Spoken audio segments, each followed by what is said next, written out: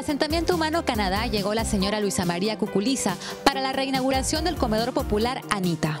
Con el apoyo del gobierno regional del Callao se ha podido mejorar la pequeña infraestructura en la que durante casi 30 años ha operado este comedor al que decenas de personas llegan para almorzar.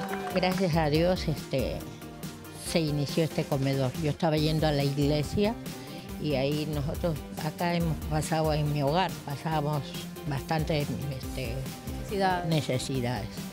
Y gracias a Dios se abrieron las puertas y me, dio la oportunidad de tener este comedor. Se ha cambiado el techo, se ha refaccionado las paredes y las instalaciones eléctricas.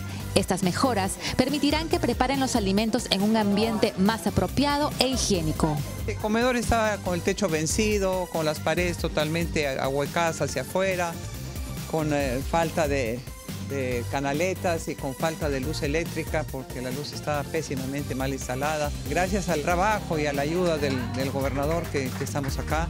Doña Aura Chan es la fundadora y brinda a solo 3 soles 50 el menú diariamente.